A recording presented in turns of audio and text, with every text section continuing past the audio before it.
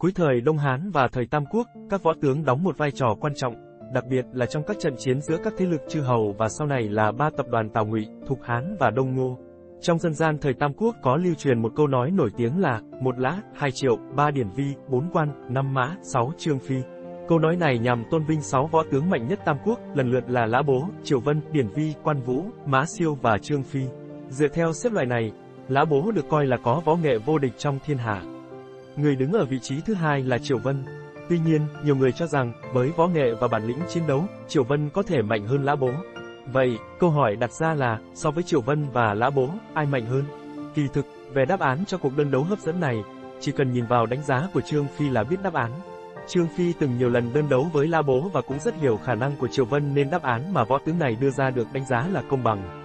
Nếu La Bố đơn đấu với Triều Vân, kết quả sẽ ra sao? Trương Phi từng nhiều lần đơn đấu với La Bố và hiểu thực lực của Triều Vân. Theo Tam Quốc diễn nghĩa, Trương Phi rất coi thường La Bố.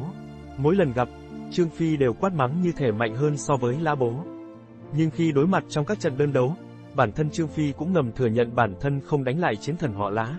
Theo đó, nếu phân tích chi tiết trận đơn đấu giữa Trương Phi và Lã Bố sẽ thấy được khoảng cách lớn giữa hai võ tướng tài giỏi này. Năm 190, tại Hồ Lao Quan, khi Liên minh 18 lộ chư hầu do viên hiệu làm minh chủ tiến đánh đồng chắc, Trương Phi lần đầu có dịp so tài với La Bố. Trong trận chiến này, Trương Phi tỏ ra bất bình với La Bố nên chủ động tấn công. Hai bên giao đấu bất phân thắng bại và đã cùng giành chiến thắng cho liên minh. Trương Phi đánh giá La Bố cao hơn Triều Vân khi thừa nhận không đánh lại chiến thần họ Lã. Rõ ràng việc quan vũ đột ngột lao vào trận đơn đấu này cho thấy võ công của Trương Phi căn bản không bằng Lã Bố. Ngay cả khi hai huynh đệ liên thủ tấn công cũng không phải là đối thủ của Lã Bố.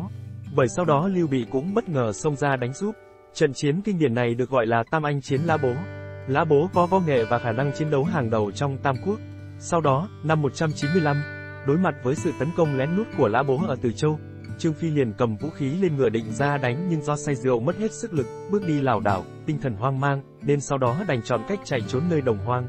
Trương Phi vội tháo chạy đến nỗi bỏ quên cả sự an toàn của vợ Lưu Bị. Lúc này, rõ ràng Trương Phi nhận ra ông không phải là đối thủ của Lã Bố. Hơn nữa, Lã Bố còn có hai bảo bối hiếm có trên đời là ngựa xích thố và phương thiên họa kích. Nếu đơn đấu kéo dài, Trương Phi đương nhiên không phải là đối thủ của Lã Bố. Võ nghệ của Trương Phi không thể so sánh với Lã Bố. Vậy, vì sao võ tướng này luôn khiêu khích Lã Bố?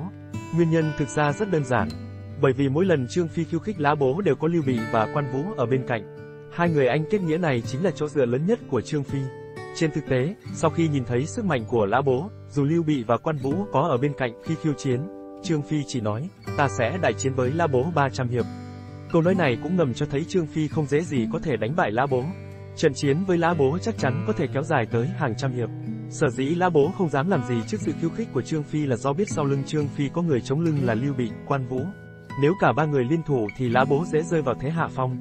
Hơn nữa, với tư cách là người đứng đầu một thế lực,